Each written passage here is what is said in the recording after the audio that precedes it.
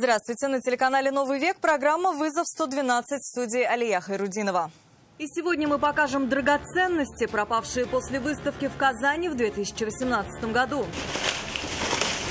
Где все эти годы лежали ювелирные изделия, оцененные в 160 миллионов рублей?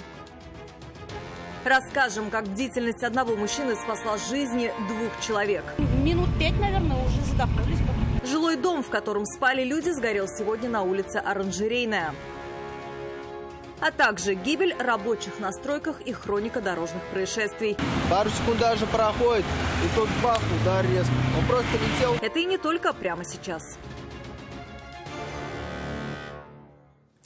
Казани нашли драгоценности, которые предположительно еще в 2018 году похитил житель Колумбии Эдгар Алехандро Валеро-Валеро.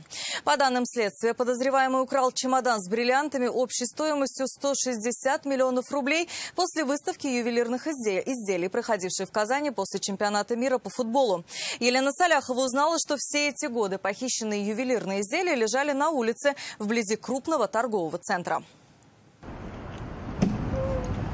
Жители Колумбии Эдгара Алехандро Валеро-Валеро полицейские заподозрили в краже чемодана с якутскими бриллиантами в июле 2018 года. Драгоценности пропали с территории выставочного центра. Участники после завершения выставки разбирали экспозиции и увозили вещи и драгоценности. В это время сотрудникам охранного предприятия вызвались помочь несколько мужчин. Вместе они сложили вещи и чемоданы с бриллиантами в автомобиль. А уже в аэропорту представители компании не досчитались кейса с драгоценностями. Ущерб оценили в 160 миллионов рублей. В результате оперативно-розыскных мероприятий и следственных действий, в том числе изучения записей с камер видеонаблюдения и изъятия биологических следов с места происшествия, полицейские установили личность предполагаемого злоумышленника.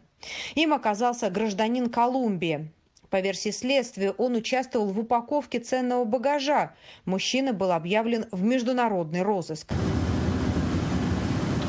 В сентябре 2019 года подозреваемого задержали в Аргентине, а в марте этого года экстрадировали в Россию. И совсем недавно его доставили из Москвы в Казань. В суде во время избрания меры пресечения мужчине задали вопрос, который интересовал многих. Однако Эдгар Валеро-Валеро на него не ответил. Где бриллиант спрятал? Но полицейским он все же рассказал, что бриллианты из Казани не вывозил. Все эти годы они лежали в лесополосе на улице Мусина. Мешки с драгоценностями он закопал. Но так как города не знал и не мог указать точное место, полицейским пришлось исследовать большой участок местности. В итоге они нашли и изъяли четыре мешка с ценностями.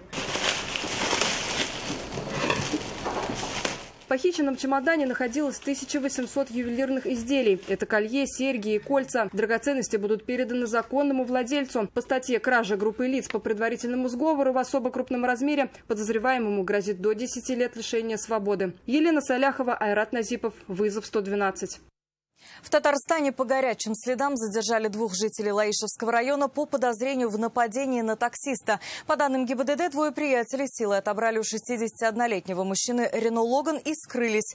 Мужчина обратился в полицию. Машину вскоре нашли. Угонщики ее бросили, наехав на бетонный блок. Вскоре нашли и подозреваемых двух мужчин. Одному 31 год, другому 34. Владелец машины их опознал и показал, кто именно сел за руль. У предполагаемого угонщика были признаки алкогольного опьянения обвинения. От прохождения медицинского освидетельствования он отказался.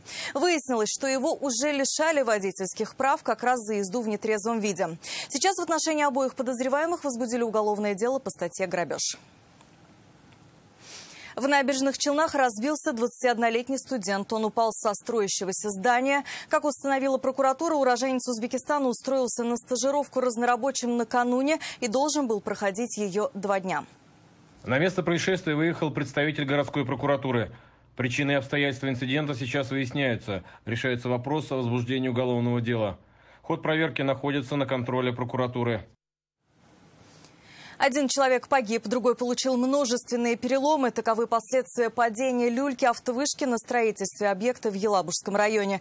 По версии следствия, двое мужчин, находясь в люльке, проводили сварочно-монтажные работы. В этот момент по неустановленной причине оборвался трос. Оба мужчины упали на землю с 10-метровой высоты. По данному факту Следственным органом Следственного комитета Российской Федерации по Республике Татарстан возбуждено уголовное дело по статье «Нарушение правил охраны труда, повлекшей по неосторожности смерть потерпевшего». Тело мужчины нашли возле дома по улице Чингиза Айтматова. Как рассказали очевидцы, примерно в 16 часов мужчина выпал из окна 14 этажа. На место сразу же прибыли полицейские, следственная оперативная группа и медики, которые констатировали смерть мужчины. Сейчас следователи выясняют причины трагедии. Двух человек, спавших внутри горящего дома, спасли неравнодушные соседи в жилом массиве Кукушкина. Деревянный дом загорелся сегодня днем на улице Оранжерейная. Заметив дым, один из местных жителей бросился в горящее строение спасать людей. Айрат Назипов был на месте. Минут пять, наверное, уже задохнулись бы. Муж этой женщины первый, кто заметил пожар. Проезжая по улице, он увидел дым, идущий из одного из домов. Тут же остановился, стал стучать в окна. Именно это и спасло жизни двух человек. Женщина и ее зять в это время спали. Проснулись как раз от стуков в окно. Еще немного и они надышались бы продуктами горения. Выбираться из захваченного огнем дома мужчина помогал им вместе с другими соседями. Я очень болею, я лежала на кровати. Зять пришел с дежурства, там в другой комнате спал. И вдруг стук, стуки стали в окна. Я говорю, разбудил его, говорю, что там случилось? Мужики кричат, вылезайте, сейчас сгорите.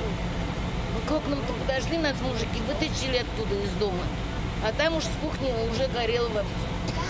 В суматохе хозяева даже не поняли, по какой причине вспыхнул пожар. Вскоре огонь охватил едва ли не весь дом. Откуда пошло, вы не знаете, да? Ну, с кухни, с кухни. С кухни? Вы там ничего не готовили, ничего там не было такого? А плита там нормально, исправно была у вас? Электрооборудование? Нет, она, плита-то она же выключена вообще. Из горящего дома пожарные вынесли несколько газовых баллонов. К счастью, взрывов удалось избежать. В происшествии никто не пострадал. Причина возгорания будет установлена пожарными дознавателями. Жить в этом доме дальше вряд ли возможно. Что не сгорело, пострадало от гари, копоти и воды. Застрахован он не был, а восстановление, скорее всего, будет довольно затратным. Впрочем, как признались жильцы сгоревшего дома, им есть куда переехать. Здесь жили только летом, используя этот дом в качестве дачи. Айрат Назипов, Адель Миндубаев, вызов 112. Бензовоз и фургон столкнулись сегодня днем на трассе М7 в Мензелинском районе. По предварительным данным, водитель фуры уснул за рулем и вылетел на полосу встречного движения, где столкнулся с фургоном, после чего вылетел в кювет. По предварительным данным, обоих водителей увезли в больницу. Из-за аварии автоинспекторам пришлось ограничить движение на участке дороги. Один человек пострадал в столкновении трех автомобилей на перекрестке улицы Болотникова и Кулахметова. Дорогу там не поделили Тойота, Лада и Хёнде. Причем все уверяли, что ехали на зеленый. Как такое возможно, пыталась узнать Айгуль Бадрудинова. Я ехал на зеленый. Водитель «Лады» полностью уверен, что прав. Рассказывает, что ехал по Кулахметова на перекресток, выехал на зеленый. Это помнит точно. Впереди ехала машина такси, он следом за ним. И когда повернул на Болотникова, сзади в легковушку врезалась «Тойота». Мы же проехали, здесь, наверное, есть где-то какие-нибудь камеры или очевидцы. Получается, я выезжаю, ну, вот сюда, передо мной такси, я его пропускаю, чуть торможу. Пару секунд даже проходит, и тут бах, удар резко. Он просто летел. Удар был очень сильным. Отечественную легковушку тут же откинуло вперед на Hyundai, за которым он ехал. Водителю «Лады Гранты» после аварии стало плохо. Ему вызвали скорую помощь. Мужчина жаловался на боли в шее. А кто виноват, кто такое получается? Я же прямо ехал. Водитель внедорожника говорит, что не тормозил, поэтому это он ехал на зеленый, а виноват в аварии водитель «Лады», проехавший на красный. Каждый из участников аварии остался при своем мнении, и теперь устанавливать виновника будут сотрудники автоинспекции. Айгуль Бадрудинова, Елена Соляхова, Наиль Абдуллин, вызов 112. Мотоциклист пострадал сегодня на проспекте Амирхана, врезавшись в легковую «Тойоту». По рассказам водителей иномарки, в аварии виноват сам байкер. Молодой человек упал на асфальт, не мог встать, но при этом не хотел обращаться к медикам. Диляра Юсупова расскажет подробности. К приезду автоинспекторов мотоциклист лежал на газоне. Подняться на ноги не мог. Чувствовал он себя, мягко говоря, не очень хорошо, но упорно отказывался от помощи и не давал вызывать скорую. Вы сейчас скоро поедете, да?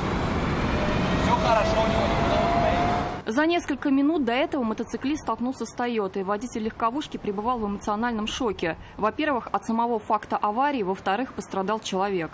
Мужчина рассказал, что в произошедшем он не виноват и что-то сделать для того, чтобы избежать столкновения, просто не мог. Сзади врезался мне мотоцикл, все. То есть вы ехали, он вас ехал, что ли? Да, А вы затормозили резко, что ли, или как получилось? не знаю, не помню. По какой причине водитель мотоцикла въехал в иномарку и кто в этом виноват, будут выяснять автоинспекторы на разборе происшествия. Диляра Исупова, Айрат Назипов, Адель Миндубаев. Вызов 112. Это все, о чем мы успели вам рассказать. В студии была Алия Хайрудинова. Увидимся и не бросайте вызов судьбе. Вдруг она его примет.